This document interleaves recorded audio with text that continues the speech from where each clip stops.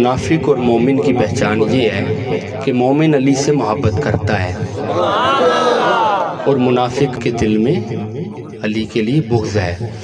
کیوں منکر ہے دل کے سفینے پہ ہو بیٹھے؟ یہ بیڑا تو وہ ہے جو کبھی پار نہ ہوئے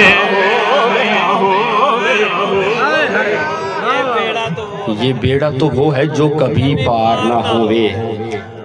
اور عقیدہ اہل سنت یہ ہے کہ علی سے محبت کرنے کا تقاضا کیا ہے۔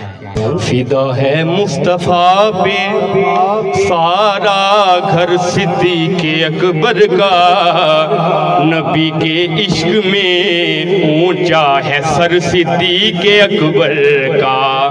اسے مولا علی بھی آنے نہیں دیتے، کسی نے دل دکھایا ہو اگر صدیق اکبر کا، کیوں منکر ہے در کے سفینے پہ ہو بیٹھے؟